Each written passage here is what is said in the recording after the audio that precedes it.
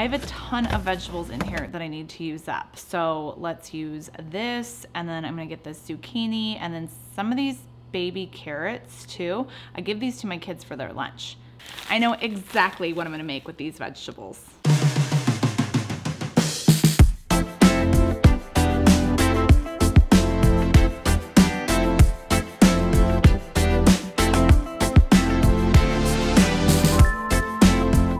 If you have some half-eaten, mismatched, sorry-looking vegetables in your fridge, you know it's time to make minestrone soup. Or, like my aunt, who's Italian, pronounces it minestrone. Minestrone soup is an Italian soup and it's vegetable-based, but you can use up any vegetables you want for minestrone soup. And that's why I'm using this sorry group of vegetables here in my recipe.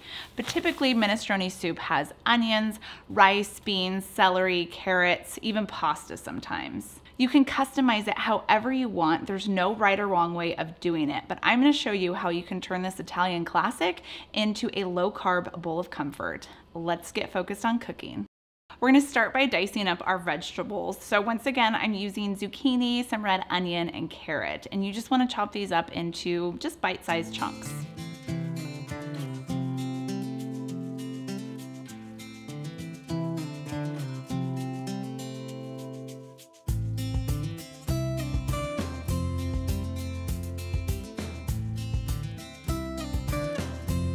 Now, when it comes to carrot on the keto diet, you can totally omit this because they are higher in carbs, but really they're not gonna add that much carbohydrate to our soup. And I just like them in there for flavor and for appearance too. It's nice to have a little orange ball of carrot in your soup.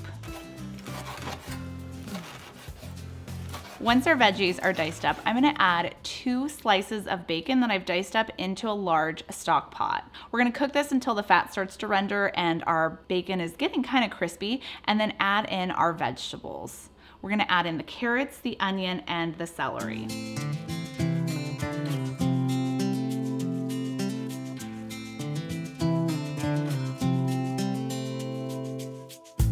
Once those are softened, next up I'm gonna add in my diced zucchini, along with a 28 ounce can of whole tomatoes, and then four cups of chicken broth. You can use vegetable broth if you want. Um, vegetable broth is actually a little bit higher in carbs though, so I'm gonna use chicken broth or you can use water, and a teaspoon of salt for flavor. We're gonna test that just to see where we're at. Just missing something. Ah, I know what it is. The Parmesan rind. Many say that a true minestrone soup uses the rind of Parmesan cheese within it just to add that umami flavor. And it really does help just because it's allowed to simmer in your soup base for a long period of time and all those yummy flavors leach out into your soup. We're gonna bring this to a boil and then turn down the heat and let it simmer slowly over 20 minutes. Obviously, the longer you let it cook, the more of that umami flavor from the Parmesan cheese rind is gonna seep out into your soup, but I really just wanna get this done. So my Italian aunt, she lives on a ranch. It's a sixth generation ranch that's been in my family, and she uses beef shanks in her minestrone soup. And it's really good, adds a ton of flavor. And she lets it cook all day long. So that slow cooking actually adds a ton of flavor from those bones from the beef into our broth. But we're not gonna do that. This is just a easy 30 minute recipe.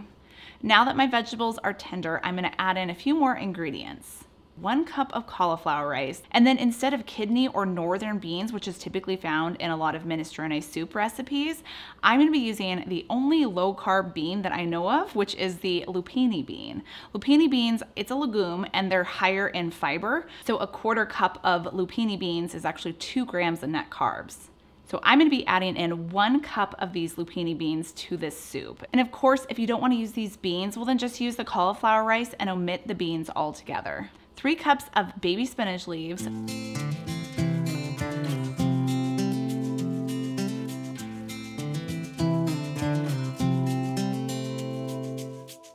Now let's take out the rind and have a taste test.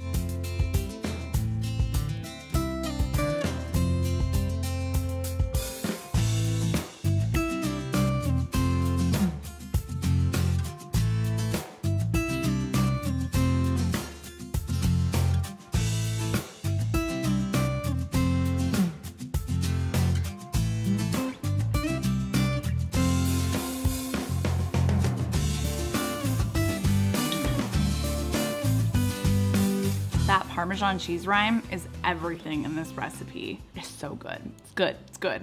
I love the thick chunks of vegetables in here. And this is gonna help keep me warm because I gotta go rake some leaves now and it's cold outside. If you guys are looking for some more keto soup recipes, make sure you click right here.